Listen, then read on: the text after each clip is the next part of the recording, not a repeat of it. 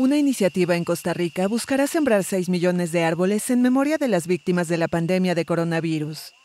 Ya, y que, un, que él se fue, pero que un árbol lo queda representando, queda dando vida en lugar de él.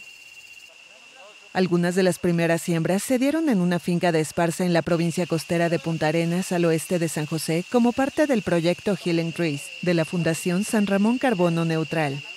¿Por qué no honramos a, esas personas que han muerto?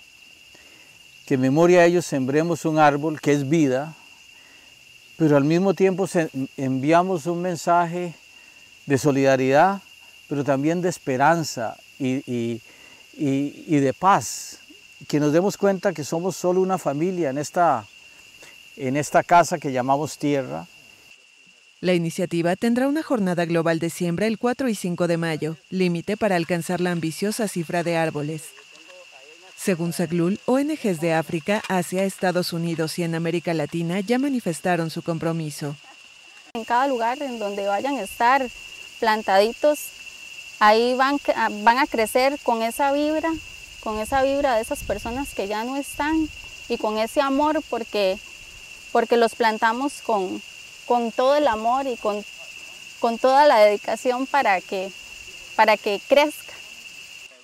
El proyecto ya recibió respaldo de personalidades como Steve Kerr, entrenador de la NBA, y el cantante colombiano Fonseca.